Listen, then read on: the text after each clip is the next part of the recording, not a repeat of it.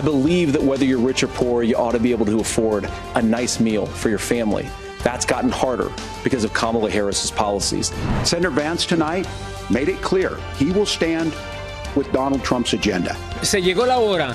El demócrata Tim Walz y el republicano J.D. Vance se enfrentan cara a cara en un primer debate de candidatos a la vicepresidencia de este país que ha tomado especial relevancia en este atípico proceso electoral. Irán pagará muy caro por este ataque. Es la dura amenaza por parte del primer ministro Benjamin Netanyahu después del masivo bombardeo de Teherán en contra de Israel y que amenaza con escalar el conflicto en el Medio Oriente. Claudia Sheinbaum rinde protesta como la primera presidenta de la República Mexicana. Miles de personas abarrotan el zócalo de la capital para dar la bienvenida a la nueva presidenta. Trabajadores portuarios en la costa este inician huelga histórica, deteniendo el 50% del comercio marítimo y poniendo en riesgo miles de empleos y la economía nacional. Aumenta la preocupación entre fanáticos del béisbol de las grandes ligas. El legendario lanzador de Los Ángeles Dodgers, Fernando El Toro Valenzuela, ha sido hospitalizado después de un inesperado retiro como comentarista. Así iniciamos su noticiero nacional, cierre de edición.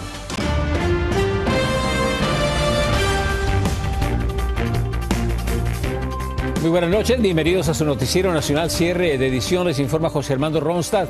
En exactamente cinco semanas, el 5 de noviembre próximo, se van a llevar a cabo las elecciones presidenciales para elegir al próximo presidente o presidenta de los Estados Unidos.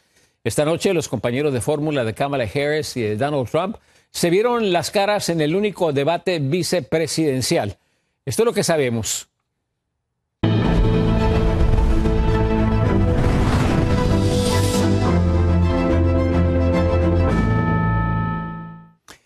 Así inició el debate a la vicepresidencia entre el gobernador de Minnesota, el demócrata Tim Walz, y el senador por Ohio, el republicano J.D. Vance. El encuentro comenzó con un apretón de manos en un enfrentamiento que duró más de una hora y media y donde básicamente se lanzaron algunos ataques, pero la mayoría de los golpes fueron lanzados hacia los candidatos presidenciales y sus políticas. A tan solo 35 días de las elecciones presidenciales, estos fueron los temas principales que se tocaron esta noche. La política internacional, específicamente el ataque de Irán contra Israel, el huracán Helen y el cambio climático, inmigración y seguridad en la frontera, el aborto y la violencia armada, la economía, las tarifas, la salud y el seguro médico universal y la defensa de la democracia. Ya se encuentra con nosotros nuestro analista político Ricardo Brown, que ha estado siguiendo pues, muy de cerca de principio a fin este debate. Este debate, a diferencia del debate entre Donald Trump y Kamala Harris, fue totalmente diferente. Fue totalmente diferente, más cordial, más amable. Se concentraron básicamente en los temas de campaña, los que acabas de mencionar tú, eh, eh, José. Eh, no creo que hubo un knockout. Algunos dirán que ganó Vance, pero por decisión de, dividida. Si hablamos en términos boxísticos, otros dirán que no, que la victoria quizás fue también por decisión dividida del gobernador eh, Walsh.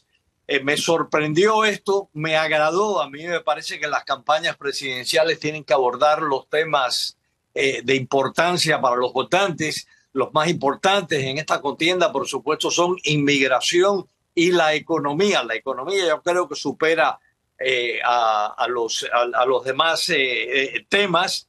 me parece que, de nuevo, que es bueno que se hable de los temas, aunque evadieron en algunos casos eh, respuestas firmes, pero una cosa es proponer una forma de gobernar y otra es ganar una campaña. Y a mí me parece que en el tipo de campaña que se está librando y que anticipo que va a continuar así en estas cinco semanas que quedan antes de las elecciones, los demócratas tienen que ser más agresivos en el, en el término eh, eh, que, usamos eh, comúnmente en cuanto a, firmeza. me parece que debió haber sido más firme el gobernador Walsh, me parece que salió mejor en este caso el, el, senador Vance, que tenía una imagen ante este debate de ser una persona áspera, ultraderechista, fanático casi, y, yo creo que logró proyectar una imagen de moderación. Bueno, JD Vance notó la experiencia que tiene en, términos de debate, se vio más seguro, como tú dices. Tim Walz al principio se vio un poco nervioso. Los dos eh, lucieron también el hecho de que evadían preguntas y respondían algo totalmente diferente, más le daban la vuelta para atacar a los diferentes candidatos presidenciales. Yo eh, no suelo criticar a los moderadores de estos debates, es una tarea muy difícil, pero yo creo que sí debieron haber eh, presionado gentilmente, amablemente, eh, civilizadamente a los dos candidatos para que respondieran firmemente. en numerosas ocasiones evadieron una, una respuesta firme. No obstante, sí expresaron enormes diferencias entre, entre los temas, el mismo tema de la economía. Eh, Vance dijo que la situación económica, sobre todo en la economía de piso, la economía de consumidor, el costo de la vivienda, el costo de los alimentos, el costo del combustible, es culpa de políticas erróneas del gobierno de Harris. Apenas se refería a Biden. Él decía la administración eh, Harris, mientras que el gobernador Walsh dijo que el, actual gobierno demócrata que está en la Casa Blanca heredó una situación económica desastrosa por lo que dijo el gobernador de Minnesota, eh, fueron las políticas desastrosas de, Trump durante la pandemia. ¿Qué te pareció la, parte final del discurso de los dos minutos que se le da a cada uno para terminar y concluir eh, toda su participación? Empecemos con, con Tim Walz.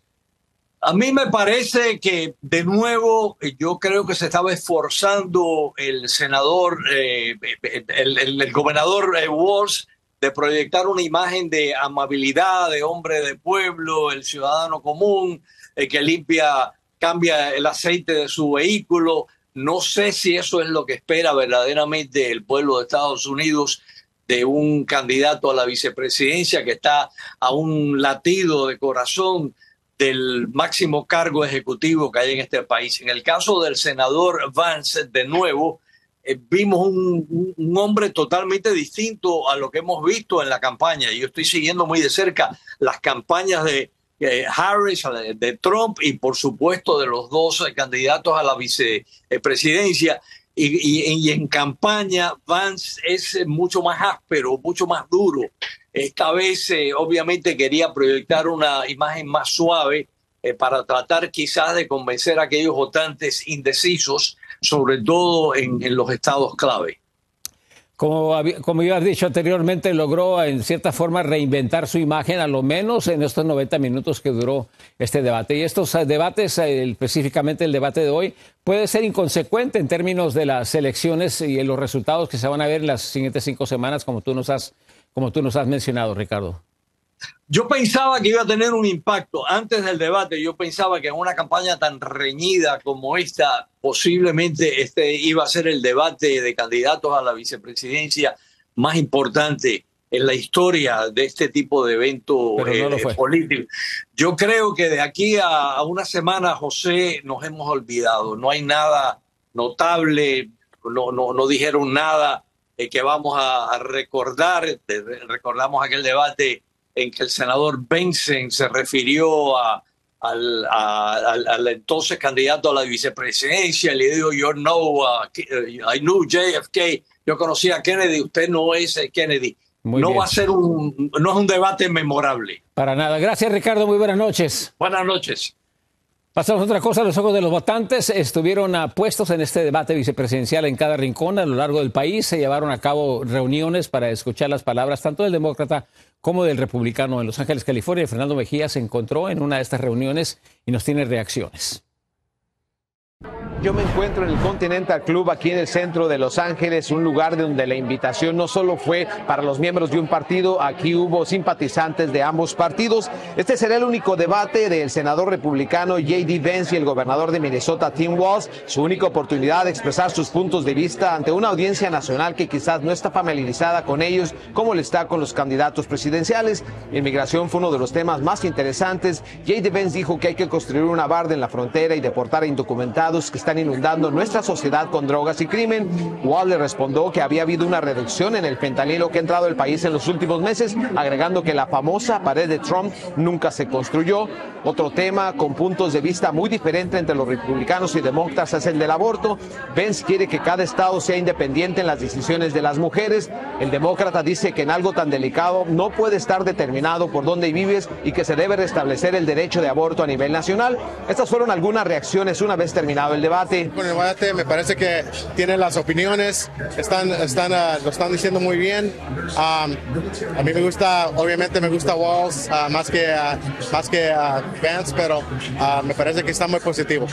I think that think that JD Vance is a very good speaker. Este residente de Los Ángeles dijo que Vance era un buen moderador ya que sabe debatir debido a que la escuela de leyes y que aún no estaba decidida sobre quién votar. En cuanto a las críticas en el pasado del compañero de fórmula de Trump, JD Vance, dijo que no apoyaba en todo al presidente Trump en el pasado, pero culpó a la prensa, según él, de haber inventado historias que después se dio cuenta que no eran del todo ciertas. ¿Será suficiente solamente un debate tanto de los candidatos a la presidencia como vicepresidencia para aquellos indecisos en esos estados claves que quizás serían determinantes en quién llega a la Casa Blanca? Bueno, eso lo sabremos en aproximadamente cinco semanas. Yo soy Fernando Mejía para Estrella TV. Ahora regreso al estudio.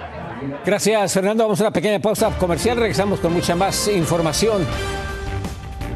Aumenta la preocupación internacional por una eminente escalada en el conflicto de Medio Oriente luego de un masivo bombardeo de Irán en contra de Israel. Imágenes y detalles al regresar. En un acto de lo que llaman una escalada del conflicto en el Medio Oriente, este martes Irán lanzó decenas de misiles contra Israel, poco después de advertencias estadounidenses sobre este ataque. Laura Ortega nos tiene el reporte de la delicada situación que atraviesa el Medio Oriente. El ataque comenzó al caer la tarde y finalizó una hora después activando las alarmas de todo Israel. Las fuerzas de defensa israelíes, con apoyo de destructores navales estadounidenses y su poderosa cúpula de hierro, lograron interceptar la mayoría de los 200 misiles iraníes que amenazaban con impactar a la población. Por fortuna, no se reportan daños significativos. At my direction, the United States military actively supported the defense of Israel, and we're still assessing the impact. El bombardeo iraní se produce en respuesta a las incursiones israelíes en el sur del Líbano contra Hezbollah. Las tensiones entre ambos bandos han aumentado tras la muerte del líder de Hezbollah, Hassan Nasrallah, en un ataque israelí. En respuesta al ataque, el primer ministro israelí Benjamin Netanyahu condenó los hechos y amenazó a Irán con represalias. המשטר באיראן לא מבין את נחישותנו להגן על עצמנו por su parte, la Guardia Revolucionaria de Irán justificó el ataque como una respuesta legítima ante las agresiones israelíes. Mientras tanto, Estados Unidos advirtió que cualquier nuevo ataque de Irán recibiría una respuesta contundente, señalando que el más afectado sería Teherán si el conflicto se intensifica. Uh, we are proud of the actions that we've taken alongside Israel to, to protect and defend Israel. We have made clear that there will be consequences, severe consequences for this attack, and we will work with Israel to make that the case. Este ataque ha revivado la crisis en la región y ahora los civiles de ambos bandos están buscando refugio. Por su parte, las autoridades israelíes informaron que los sistemas de defensa están en completo funcionamiento para interceptar cualquier nueva amenaza. Para Noticias, Estrella TV, Laura Ortega.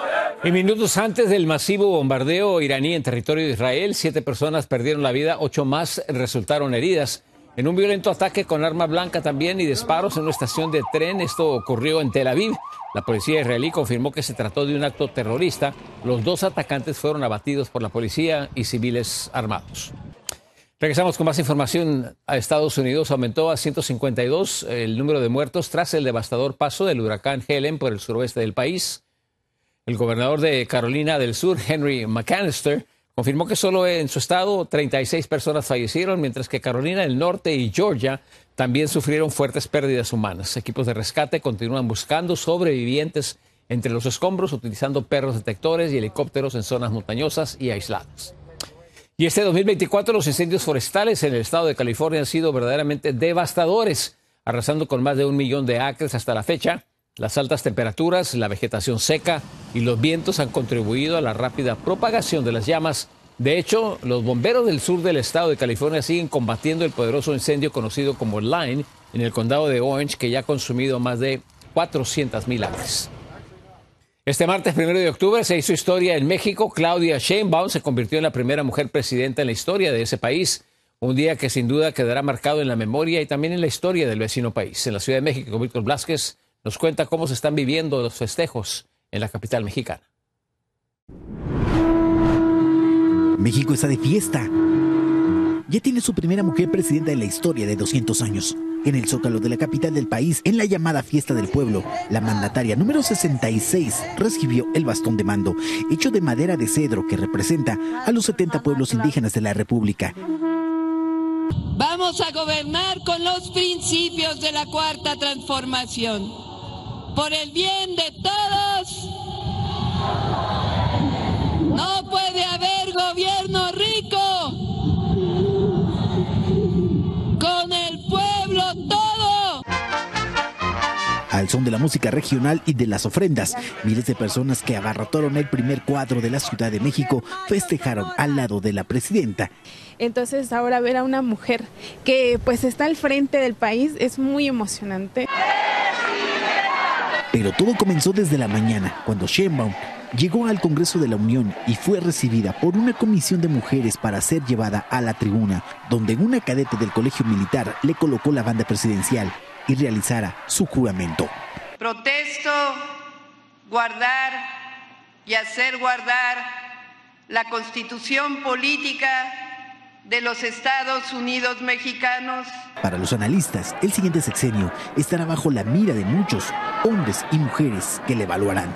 El sistema político mexicano puede tener una sacudida fuerte porque la igualdad de género se está imponiendo en México. Cabe destacar que en los primeros minutos de este primero de octubre, tres dependencias de gobierno ya cambiaron sus titulares. La Secretaría de Seguridad y Protección Ciudadana, la Consejería Jurídica y también la Secretaría de Gobernación. En Ciudad de México, Víctor Blasquez, Noticias, Estrella TV. Vamos a otra información. A pesar de las tensiones políticas, la Navidad, créanlo o no, llegó a Venezuela anticipadamente. Este primero de octubre, las calles de Caracas ya lucen adornadas con luces y decoraciones festivas luego del decreto del presidente Nicolás Maduro con el que buscaba infundir un espíritu de paz y felicidad tras las pasadas elecciones. Una breve pausa, regresamos con más información, sigan con nosotros. Estalla la huelga de trabajadores portuarios en la costa oeste poniendo en jaque a la cadena de suministros del país.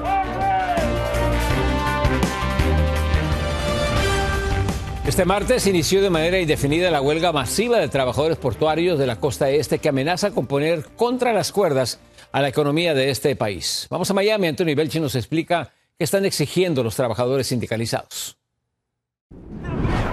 Más de 45.000 trabajadores del Sindicato Internacional de Estibadores se han declarado en huelga después de que el contrato de la Unión de Empleados con los puertos de Estados Unidos haya expirado esta medianoche. Exigen mejores condiciones laborales. Estamos en huelga porque estas empresas están ganando mucho dinero. No nos han dado aumentos justos. Trabajamos en condiciones duras, bajo la lluvia y calor, siete días a la semana, de guardia. La medida afecta a 36 puertos de la costa este que distribuyen la carga por todo el país. Un parón lo suficientemente serio porque si se prolonga mucho tiempo podría provocar un aumento generalizado de los precios de los bienes, habría menos producto disponible y una gran demanda. Incluso como pasó durante la pandemia, también se podrían registrar escasez de productos. Por supuesto, esa es la presión que tienen los sindicatos, esa es la presión que tienen los, los- lo- la- la- la- la- las compañías de transporte, la herramienta que tienen para presionar en un momento dado y pues, pues, pues lo usan en, en- en el mundo libre. La expiración del contrato entre la patronal y el mayor sindicato de estibadores de Estados Unidos coincide en un momento clave en la recta final de las elecciones, con encuestas que arrojan un resultado muy ajustado entre Kamala Harris y Donald Trump. El tema podría impactar de lleno en la carrera hacia la Casa Blanca. Por Por supuesto, esa es la presión que tienen los sindicatos, esa es la presión que tienen los, las compañías de transporte, la herramienta que tienen para presionar en un momento dado y pues, pues, pues lo usan en, en, en el mundo libre. Y todo eso en medio de la incertidumbre económica que se está viviendo en Estados Unidos, con una recesión que amenaza con perjudicar el panorama financiero del país. Que también estamos en épocas de elecciones y le conviene a nuestros líderes, a todos los que tienen un puesto actual, que las cosas se vean bien, que las cosas, eh, que la economía, que los mercados, todo se esté estimulando. El presidente de Estados Unidos ya ha dicho que el acuerdo debe realizarse entre el sindicato y la patronal y que en ningún caso el gobierno federal va a intervenir. Desde Miami, Florida, Anthony Belchi, Noticias Estrella TV. Hay gran preocupación en el mundo del béisbol de las grandes ligas. Fernando El Toro Valenzuela, una de las grandes leyendas mexicanas de los LA Dodgers, se encuentra hospitalizado en la ciudad de Los Ángeles, California. Hasta el momento su familia ha mantenido en privado los detalles de su salud, pero se cree que es debido a una complicación hepática. Valenzuela, que actualmente trabajaba como comentarista en español de los partidos de los Dodgers, dejó de participar en las transmisiones y no regresará para la postemporada de las ligas mayores del béisbol. Esperemos y confiamos en que el gran toro Valenzuela se recupere de su salud. Es una de las grandes leyendas, debería estar en el Salón de la Fama. Muy buenas noches, gracias por acompañarnos. A continuación, Alex Estergios, Alexander Estergios con Noticias 24 Horas. Yo soy José Armando Ronsta. Buenas noches.